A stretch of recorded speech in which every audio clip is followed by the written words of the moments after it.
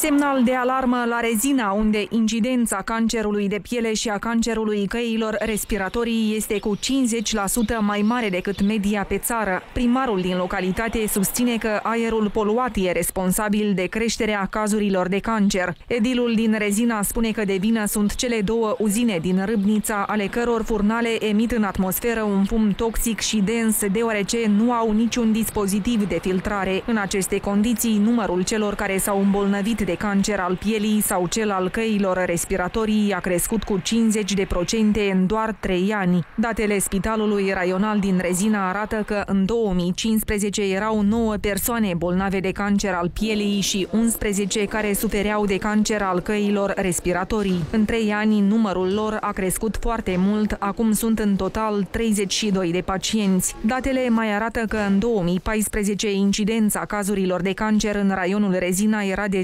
58 la 100 de mii de oameni, iar în 2016 a crescut la 90. Doar la spitalul local, la sfârșitul anului trecut, erau în evidență 751 de bolnavi de cancer, cu excepția capitalei și a municipiului Bălți. În niciun raion din țară nu este măsurată calitatea aerului.